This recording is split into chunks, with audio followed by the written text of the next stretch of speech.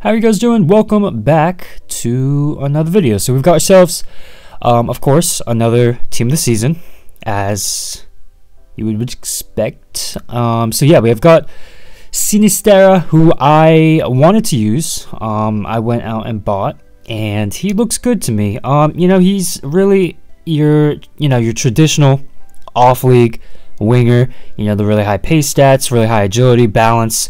Um, and you know these types of players are always meta. Um, you know, not necessarily always um, high-end cards necessarily, but they're always going to be very useful, um, especially off the bench um, and as you know super sub. So um, yeah, not much. he'll only cost you around probably 30k. So you know even the poorest of poor can uh, can afford that. And yeah, although the links aren't perfect, like I said, and you also have I guess Gakpo, who um, is probably better. Um, but yeah, I mean, in terms of off the bench, um, I'm sure he could make a very good impact. So, um, to start out with, um, I will. So the pace, right? He's got 99 acceleration, 99 sprint speed.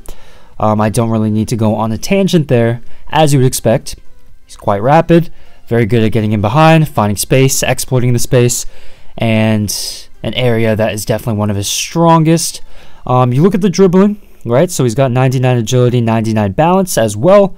Um, so not only on the ball, he's very rapid on the ball. So something I did notice that I liked about this card is his ability, um, let's say, splitting the defense with his runs. Um, you know, he's very explosive, and he has that ability where he's kind of able to kind of slide through um, in these tight spaces. You know, so yeah, with that pace, that agility and balance, that mobility is just going to feel very responsive and very quick. So, yeah, those four stats are uh, are going to make him feel incredible in game, you know, on the ball um, and just making runs. Um, and then you go to 90 ball control, 97 dribbling. He's also got four star skills, um, and yeah, he's very good in tight spaces um, when it comes to, um, you know, beating the defense, the man, and uh, yeah, you know, creating uh, open space for attacking chances.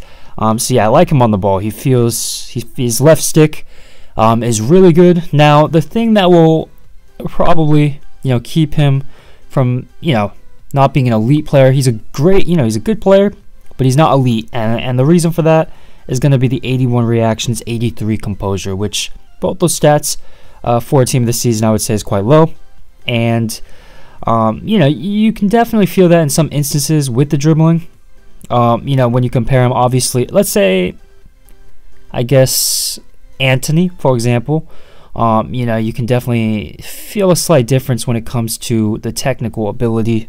But otherwise, um, you know, I think, I think, um, you know, you, you'll be very impressed with how um, he's able to, I guess, manipulate the ball um, and then you go into the shooting. So I was actually pleasantly surprised. He was quite, um, you know, quite clinical in front of goal.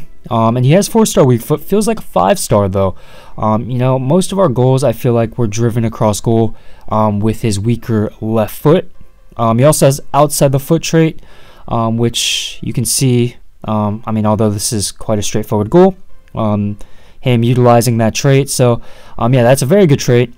Um, but also his, like I said, also the left foot is uh, is still very good. So um, yeah, very good goal scorer. He's got 86 finishing, 88 shot power. Um, also the 95 volleys, which we did score a really nice volley. I don't know where it is exactly, but yeah, you can definitely expect uh, quite a bit of goals from him. Now, um, in terms of goal contributions, um, so we played our whole actually, you know, we finished our whole weekend league um, playing all 20 games with Sinisterra. And, um, you know, in the beginning, I'd say, let's say 0 to plus 7 elo. Um, you know, he was very impact, you know, very impactful. Um, but I say when you get to the very high level, you know, let's say plus 10, um, when I was probably around, let's say 12 and 1 maybe around there. Um, you, you could definitely see a drop off in the numbers and uh, the influence. Um, so that is definitely going to be expected. Um, you know if, if we're talking about high end high level if you're you know really sweaty player um, you know, he's he's not going to be able to influence necess- I feel like he won't be able to necessarily influence as strongly, but um, you know, I feel like you can still get a lot a lot of use um, out of him in terms and I'm talking about goal contribution. Um, you know, when it comes to let's say passing, you know, he's got um, 90 vision, 93 short pass, which I really like.